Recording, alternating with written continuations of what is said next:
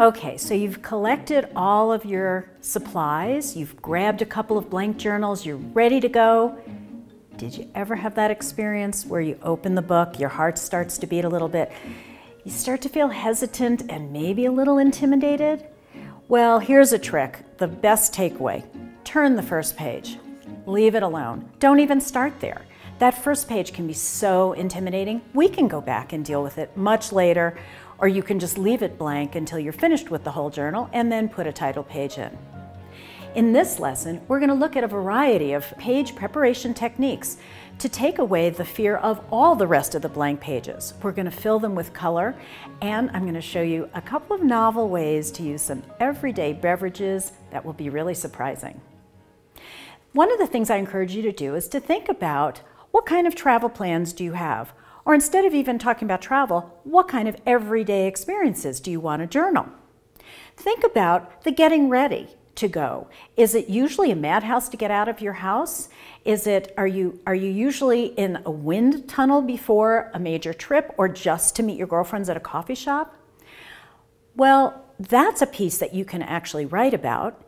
And then as you determine what's going to work best for you, um, in terms of what you want to journal about, think about ways to organize your journaling experience. Are you going to journal on a daily basis, a weekly basis, or try to meet up with some friends every month? Well, there are different ways to organize your journal. One of the things that works really well for me is to put tabs into my journal and make sections right off the start. It gets me engaged with this book right away. So let me show you some quick ways to create the tabs. First of all, there's some fabulous washi tape, which is just decorative tape out on the market today. Most of this tape has uh, the sticky that's not really terribly sticky. So I do encourage you to put a little bit of glue stick behind it as you use it. To make tabs, you're just going to rip or cut a section of tape, set it on the edge of the page, and just flip that tape back over on itself so it sticks together. Now, of course, you can get a cleaner line there if you cut it. You can do something fancy. But can you see how that now becomes a tab and it hangs off the edge of your page? If you like mixed media and textural things, you're going to love this because right off the bat, you see things kind of falling off the page, which is super. Another way to make a tab is to take decorative paper, just a scrap of something. I suggest folding it first, and then adding some glue stick onto that paper on the other side, the inside. And that too can be attached where you put part on the page behind, flip that over, and simply press it down so that that's glued. Here are the tabs I already have on the journal I'm ready to start. These are from the washi tape. Here's a little decorative paper tab. Tabs can be made out of really pretty much anything. It's nice to think about ways to organize your book because this gives you permission to find your own way, the way that's going to invite you in. Think again, do you want to use seasons? Do you want to use uh, things that you're doing with different people? Or even base it on your family experiences? Anytime you put time and energy into your book, it's going to engage you even more. I keep a number of active journals at any one time. I don't work on just one book. That kind of takes the pressure off as well. I've organized it so that I have books for individual experiences. I started meeting with a group of girlfriends going to coffee shops, and we found that there was not much room in a coffee shop these days, especially in the middle of the day on a Tuesday. So we switched over to going to dive bars because there's pretty much always room at one o'clock and it's really easy to draw the people there. So this is my dive bar journal that I have for this season. And this is dedicated just to that experience with those particular girlfriends. Here's a journal I keep that's more a daily book, where if I find myself just needing a few minutes of creative time, I might fill up a couple of pages, and I also might take it with me on an adventure. So keeping a few books will also take the pressure off of that one pristine book with pure white pages. Another thing that will really help you engage with the page without any fear or trepidation is to get some color on there right away.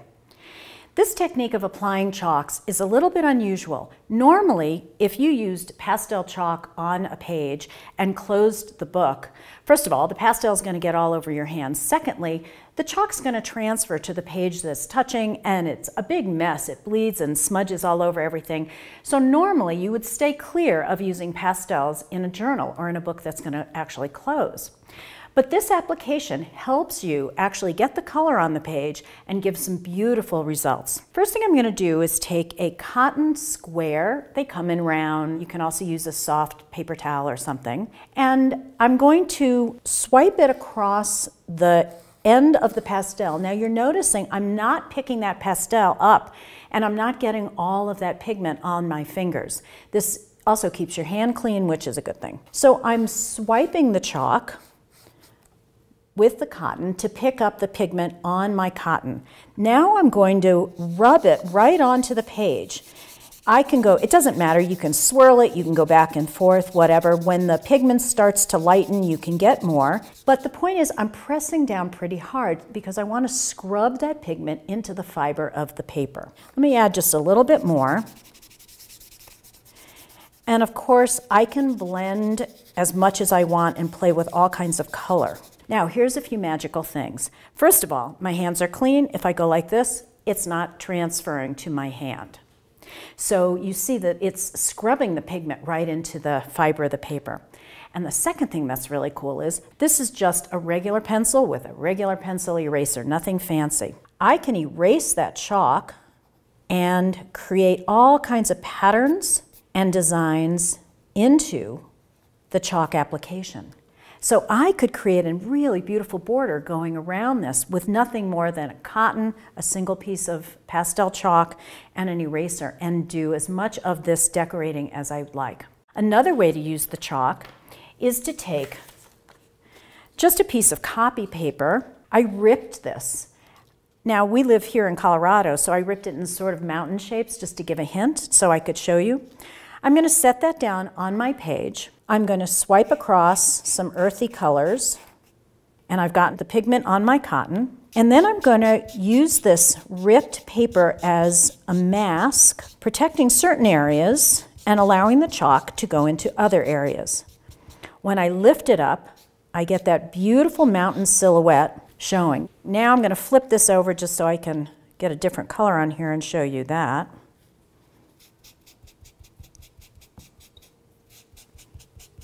I have to press down pretty hard so that that pigment scrubs into the fiber. And when I lift it, isn't that pretty?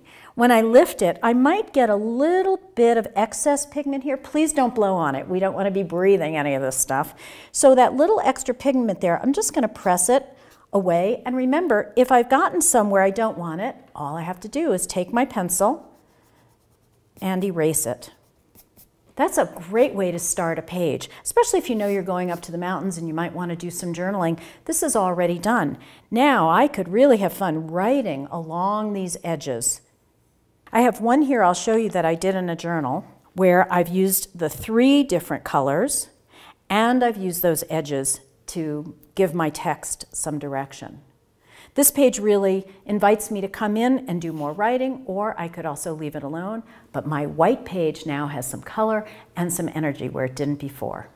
Now I'd like to show you how to create a simple border with watercolors. The reason I'm doing borders first is there, again, is something just inviting when you see a page that already has a border. It's got a frame, it's calling you to come in.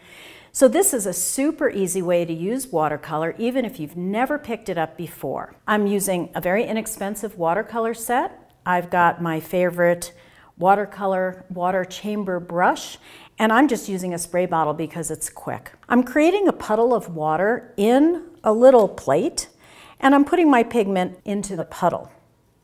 Now I'm going to put a little water on my page and I can do that with the spray. I could use my brush but I'm just getting the edge of my page wet. Now I'm going to take some of that puddle of water and put it on pretty heavily. There we go. Now you can really see it. And as it's swimming around and swirling, I'm going to blow on it to create some pretty cool looking legs, if you will. Right there, I've activated the page. I'll do the same at the bottom and on the side, and this page will really call my name when I'm out and about. I'm guessing that some of you have some rubber stamps at home and some rubber stamp inks. If you want to save and, and explore some new things, you don't actually have to run out and buy a whole new set of rubber stamps. I'm going to show you how to use some found objects as your rubber stamps. The only thing you really need is some good ink. I'm using this small container of StazOn stamp ink simply because the packaging is great. I'm such a sucker for packaging. It's small, it's portable, and the ink is really nice and strong. Some things that I like to do is just take the end of a pencil and use that as a stamp. And again, we're creating borders just to add interest. Changing color there a little bit. We're adding borders just to pull the viewer into the page and to get rid of that white page anxiety. So the back of a pencil works. This is a coffee sleeve.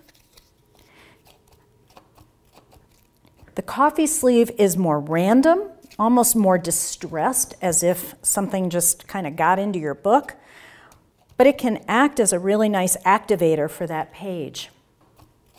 Here's an old eraser. The rubber is really condensed. It's really impossible to work with now. But this can work as a great stamp for a border. I could create all kinds of patterns with this, and it's really easy to control. The other part of the eraser, that really thin edge there, also can work for different designs to work around your border. And I've got bubble wrap, just regular old bubble wrap that can give different patterns, maybe a lighter touch. I love that, the wrinkly effect there. And then a favorite that I found in a cooking store, this is a silicone trivet, and that will work too pretty well. Giving some interesting shapes. You can see the different found objects I used here and experimented with the ink just to see what kind of uh, results I would get. You can see the erasers. There's that wine cork. Just the end of the wine cork gives a beautiful, almost distressed circle. That's the side of the wine cork, the eraser edge, coffee sleeve, etc. So have fun. Look for things in your house in that junk drawer and see what happens when you stamp them and go ahead and use those to create some borders. So I'm going to show you how to create a vignette on your page. A vignette is a smaller space. This is particularly helpful if you have a large journal, journal and you're feeling just a little intimidated by the size. It's good to create some smaller spaces. The other reason I love to work with vignettes is it helps me get into that travel mindset it helps me focus and look for small things that are easily drawn, sketched, or recorded. So it also helps take the pressure away from the feeling of, oh my gosh, I've got this blank page in front of me and I have to draw something that fills the whole page and worry about composition and design. No, you don't.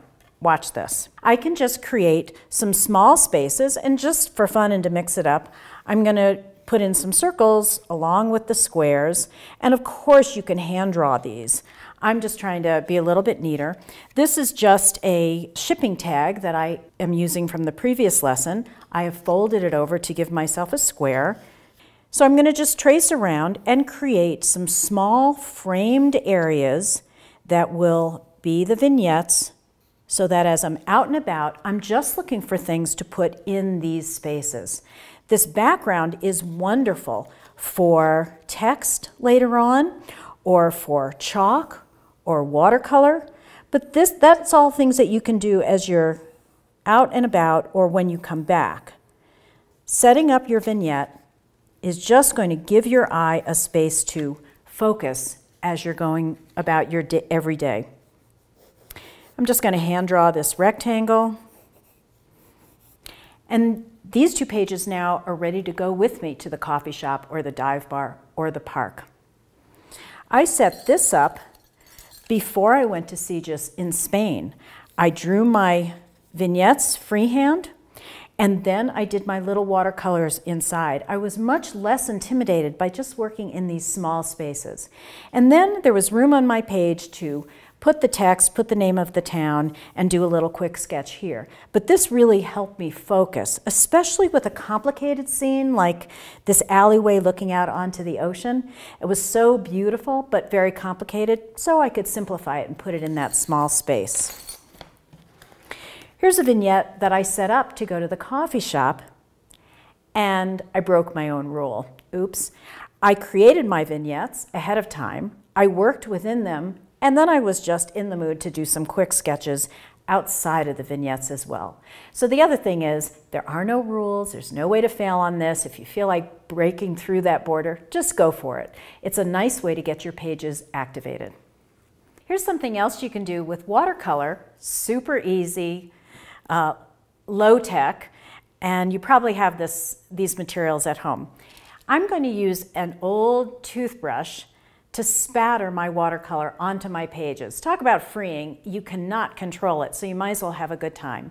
But before I start, I'm going to take some wax paper and place it underneath the pages I'm going to be working on to protect the pages down below because this is messy and like I said, impossible to control.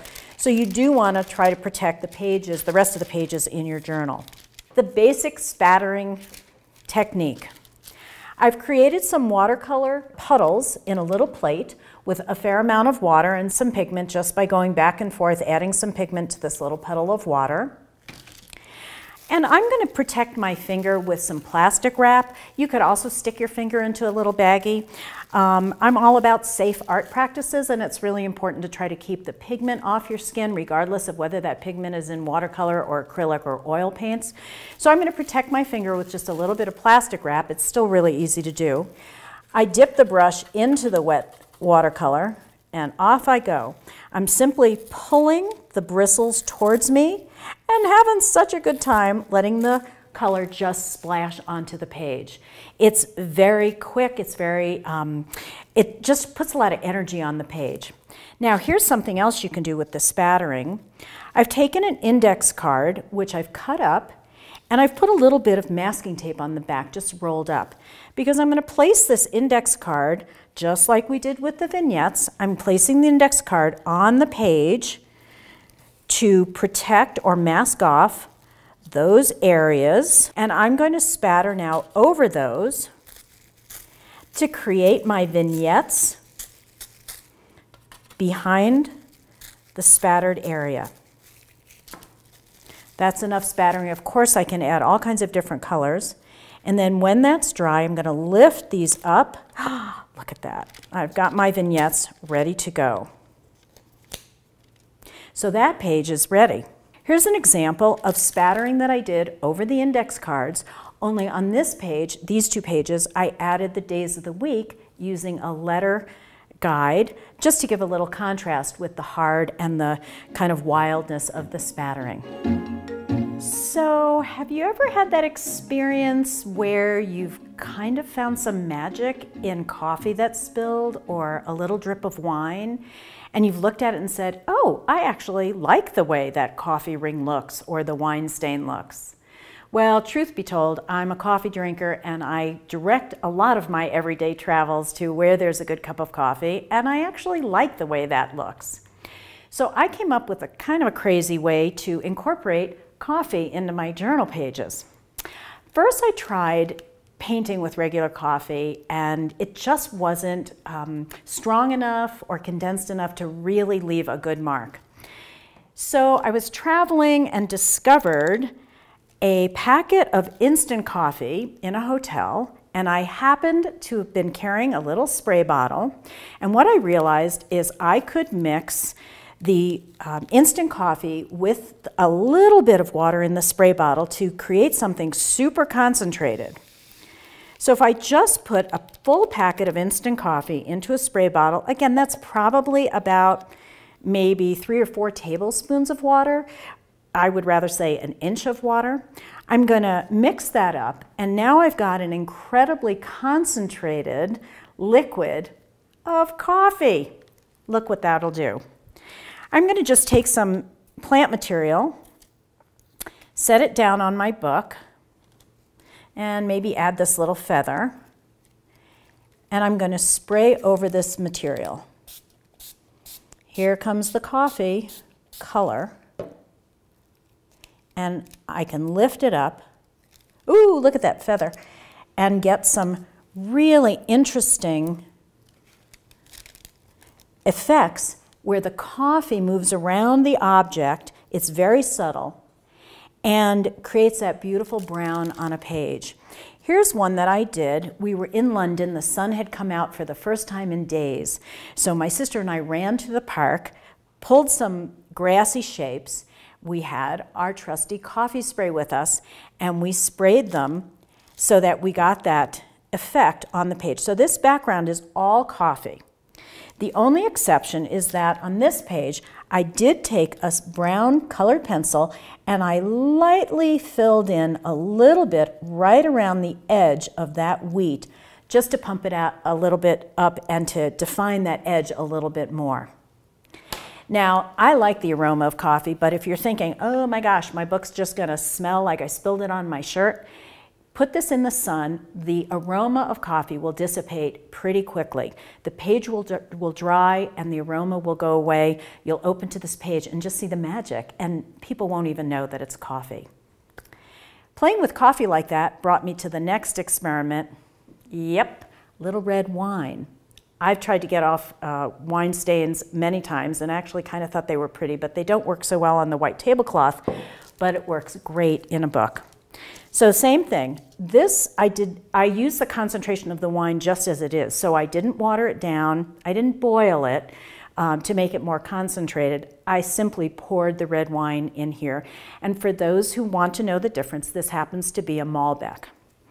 So I've got my plant material, the natural material on the journal. I'm going to spray my coffee, excuse me, the wine lift the plant material up. Oh, look at that. You get these beautiful, subtle areas. The details are just gorgeous. And okay, I'm getting a little bit of an aroma of the wine. One of my students called it a wine spritzer.